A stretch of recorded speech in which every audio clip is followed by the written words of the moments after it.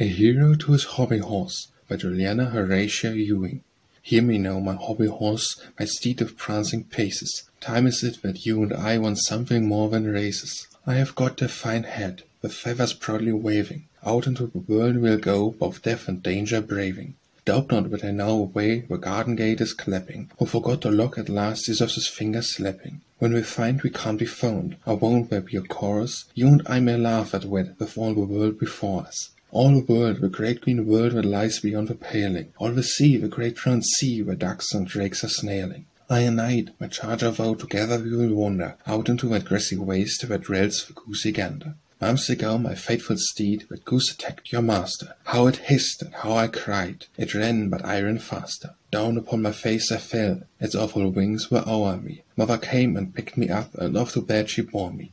Months have passed, my faithful steed, both you and I are older. Sheathless is my wooden sword, my heart I think is bolder. Always ready bridled woe with reins of crimson leather. Woe betide the goose today who meets us both together.